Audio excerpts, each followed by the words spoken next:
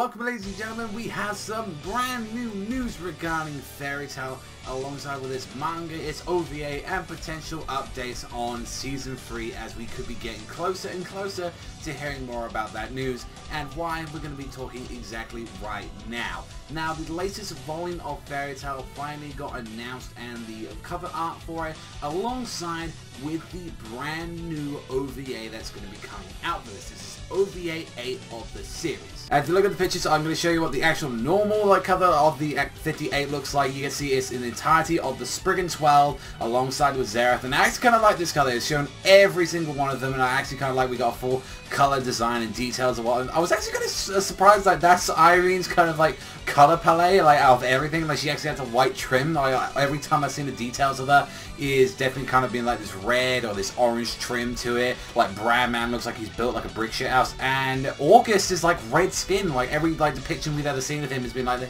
black kind of transformation, and especially with the one behind them all, like Larcade, that brings a lot more now, seeing his design and seeing that uh, blonde hair on him, and kind of gives us a little bit of confirmations. But I won't say for the people that, in case haven't seen it, there's also a special edition of this, including the Natsu versus Mavis OVA, and on this one we can clearly see that we, uh, Natsu and Mavis are in like kind of like dresses and suits and kind of like dancing around and enjoying themselves.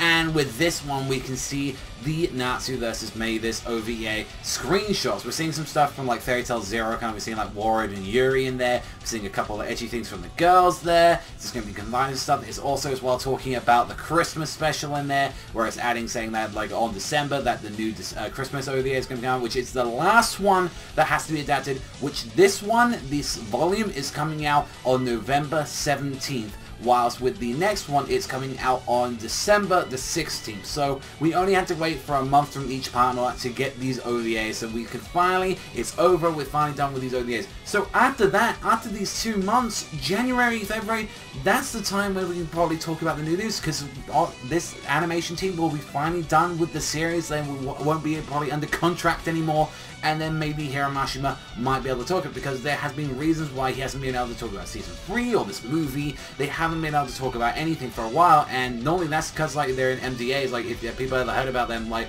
that's kind of like a contract you have like with like certain gaming companies or animes or movies where it's like we can send you this stuff, we can send you information, but as long as you don't break the contract, then you're not allowed to, then, you know, you'll be fine. It's the same thing that happened with, like, the Nintendo's, like, Switch or the NX, as it's been known. You're not allowed to break the contract and send information out to people that's against the contract. If you do that, then, you know, you're pretty much fired and, you know, all accounts are uh, for. So I think that's what kind of what Hiro Mashima is under. He's not allowed to talk about seasons, like, free at all, but I think that's, like, it gets more time to build up the material for the chapter. So I'm looking forward to that the most. And with, as well, adding into that, right down the bottom, you can see that they're talking about, like, Hiro Mashima's Twitter and the book that he's going to be, like, making that is a collection and, like, all the collaboration of all the single Twitter pictures that he's been putting out on his uh, actual Twitter site. I'll link that down below as well that you can go and see that. Some real good news. I'm looking forward to this in Fairy Tail. We're going to get an OVA that's going to be coming out in pretty much in, like, two weeks. And then after that, next month, we're going to be having that near coming up to Christmas time. So we are going to have some Fairy Tail anime material. I kind of hope that these two are better than the first one. Mainly the fact that the first one was had dog shit animation. It looked absolutely terrible. Like this art was really off, and that's the reason why the delays happened. That's why these OVAs got delayed. It's the fact that they couldn't keep up with the material, and I think generally that they wanted to clean it up because it was pretty much appalling. And I think like no one really wants to buy a very poorly animated like OVA if they're actually looking forward to it. When it's like I would rather stick to the manga. But the fact is that we've got like volume 58, we've got the actual special cover, and we've also as well adding into the fact we've got the brand new cover. I really like the new cover, like with the Spriggans. I think that's a really nice like design design for all of them. While I seen Zerath and all his warriors have signed it, I actually kind of like that design a lot, seeing them all on there. I think it was about time we finally saw a bit of them, since we only saw a few of them, like, shown off. But I really do like this, and, like, finally getting to see, like, what all the characters look like in a color form.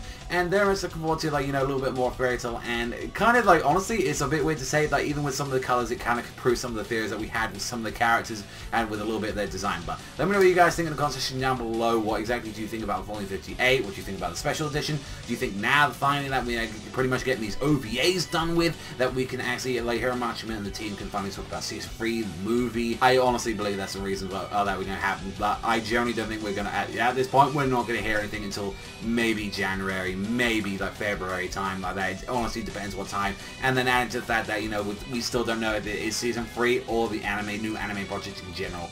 Thank you very much for watching. As always, you love Fairy tales. as always, then you know hit that like, you know hit that subscribe. Thank you as always for watching, and I'll see you guys, though, in the next Fairy Tail video.